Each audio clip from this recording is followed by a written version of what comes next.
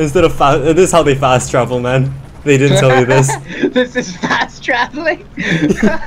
Bro, this is how Ezio would fucking get around Venice. Like you know how um in the in the game when you get into a specific spot and you do the 360 Yeah, yeah, show- yeah. that's just you on a fucking airplane. I'm just synchronizing, bro. The modern day chips, tricks, and secrets the assassins don't want you to know about. I could catch you. Can't see you, where are you? Ah, Oh, did I run you over? yeah.